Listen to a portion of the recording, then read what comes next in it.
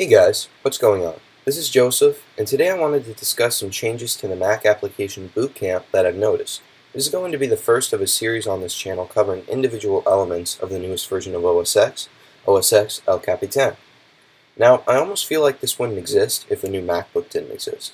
The usage of only one port makes using two external storage devices very difficult. It requires a mess of dongles and adapters because of its USB Type-C port. Now the reason I came across this was because I was installing Windows 10 via Boot Camp on my MacBook Pro, and to my surprise, the ISO file only was sufficient to completely install the software, drivers and all after a short download. This installation was in turn much faster than it used to be because it was a self-contained installation and required no slower external media to install.